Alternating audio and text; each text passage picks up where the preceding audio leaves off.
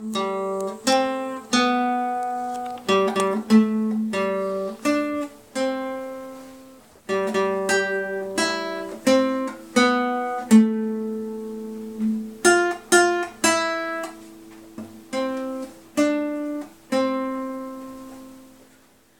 this is guitar lesson. Uh, today I'm gonna teach you how to play um, Happy Birthday on acoustic guitar.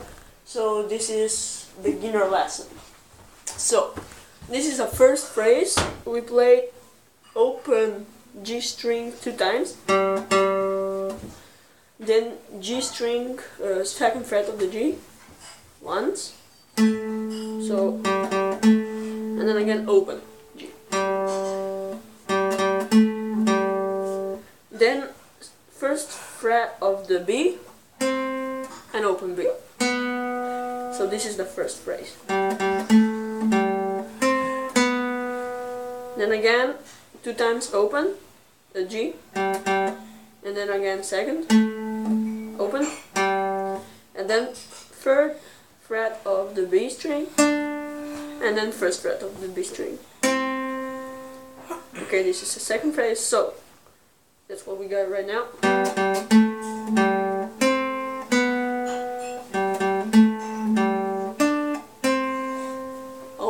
Last phrase, it sounds like this. Two times, uh, yeah, two times open G string, and then third fret of the high string, and then open high,